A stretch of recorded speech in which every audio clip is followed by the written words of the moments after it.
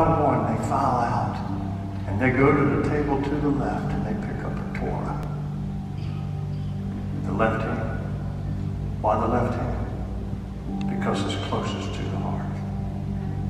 And they file over and they pick up an M16 rifle in the right hand. They go back and get in formation. When every man has his Torah in his left hand and his M16 in the right hand, the rabbi leads them I want you to stand with me right now as I close. Because this is what the rabbi leads to. Masada shall never fall again. Say it with me. Masada shall never fall again. Masada shall never fall again. Masada shall never fall again. As I stood on that mountain, I determined that no matter what the cost, I will do all I can to be sure that Masada never falls again. There'll never be slavery. Father, we thank you for this gathering today, God.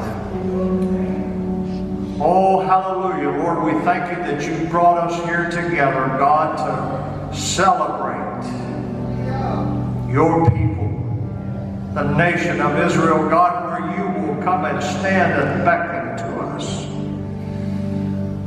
where your throne will be established, God. We just ask you, God, to lay on the hearts of every man and woman in the Christian world a burden and a passion for Israel. God, we just ask that the military in Israel, the IDF, Lord, will never, never, never be defeated.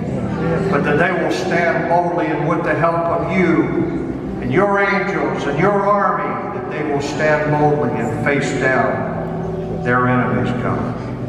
Thank you, God, that America has stood with Israel. God, let us never turn our backs on Israel. But let us, God, be a, a supporter of Israel, God, and therefore enjoy the blessings that you have promised for those who will support Israel and help us to avoid the curses of those who curse Israel.